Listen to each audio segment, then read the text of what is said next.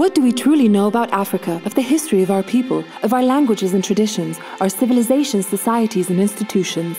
Very little. We know very little of the rich past of our continent, especially the pre colonial period. And what we do know or think we know is tainted with racial prejudice inherited from slavery, dominated by a Western perception of Africa and its cultures.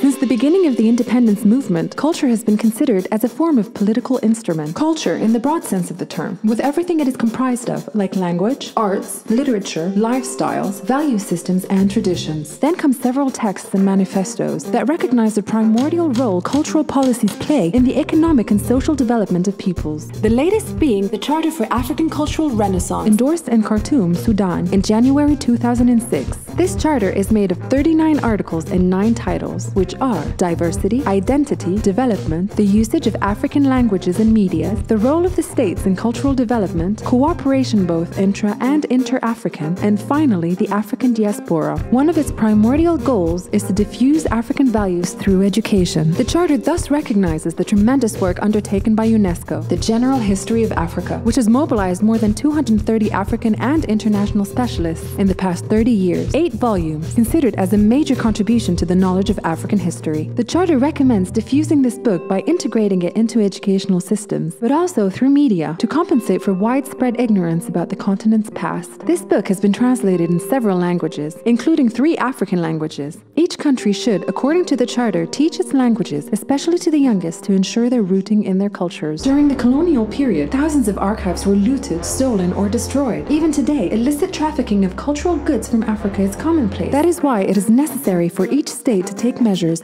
not only to protect, but also to recover the property looted and thus restore the history of the continent. An approach that requires cooperation between African countries, but also with their diaspora.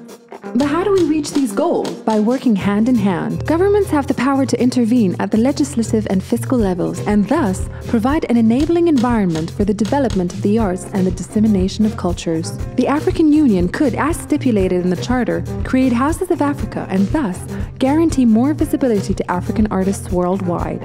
But this outreach would be impossible without the involvement of civil society and cultural actors, who themselves have the power to push their governments to ratify the Charter for African Cultural Renaissance. In short, through protection, training, education, and promotion, the Charter for African Cultural Renaissance aims to use the arts and culture as a political instrument at the service of African unity, but also to accelerate the social and economic progress of the countries and reduce inequalities and injustice. It is for all these reasons that it is important for all cultural operators to work together to enforce the Charter for African Cultural Renaissance. So, the ball's on our court.